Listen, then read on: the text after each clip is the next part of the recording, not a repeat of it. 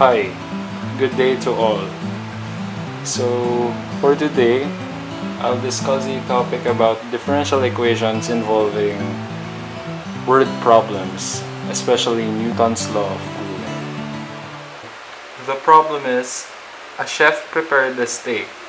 The temperature of the served steak was 35 degrees Celsius. After 5 minutes, the temperature of the steak went to 29 degrees Celsius. You want your meal reheated and to be served in 5 minutes. What should be the temperature of the microwave oven to make the steak 40 degrees in 5 minutes? So, so obviously, the problem is about temperature. So we will use Newton's law of cooling. So, in the solution, first I'll give you a tip. Uh, create a table including time, temperature of the steak, and the and the temperature of the surroundings. So so as we will read the problem, at zero minutes, the temperature of the steak is at 35 degrees Celsius, and and the temperature of the surroundings it is at 27 degrees Celsius. At 5 minutes, so after 5 minutes, right, the temperature of the steak went went down to 29 degrees Celsius. So it became kind of cold. And the temperature of the surroundings is still 27 degrees Celsius. And then, let us say the problem is like instantaneous. So after 5 minutes, you, you then put it uh, in the oven. So in, instantaneously, okay. So after 10, after 5 minutes again, so it is actually 10 minutes the temperature of the steak is 40 degrees Celsius and the temperature of the surroundings, which is in the microwave oven,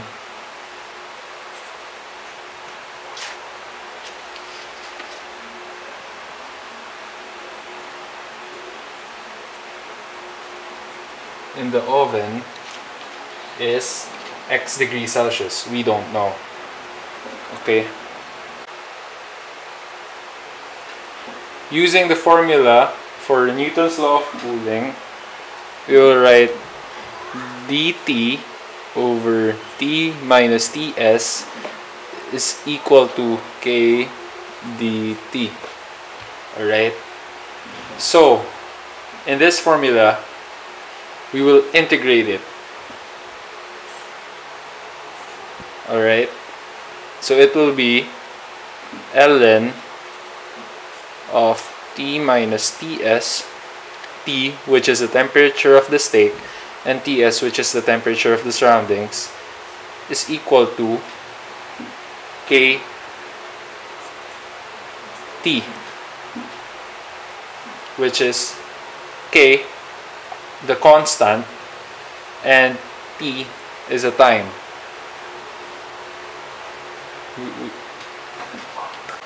We are we are given with t, we are given with, with ts, and we are given with t. So we, we need to find the constant of integration, which is k. Next page. So in the next page, we will write ln t minus 27 degrees Celsius, which is which is actually this. Alright around 27 degrees Celsius and which goes from 35 to 29 degrees Celsius. So we'll write here. Here 35 this 29 is equal to k t where t goes goes from 0 to 5 minutes. Uh, putting all the data in it will it will be ln 29 minus 27 over 35 minus 27 is equal to k from 5 minus 0 which will lead us to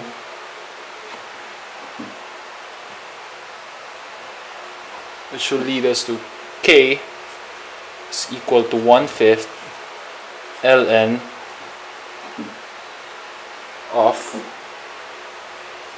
one fourth. This actually this is actually the absolute value. This one.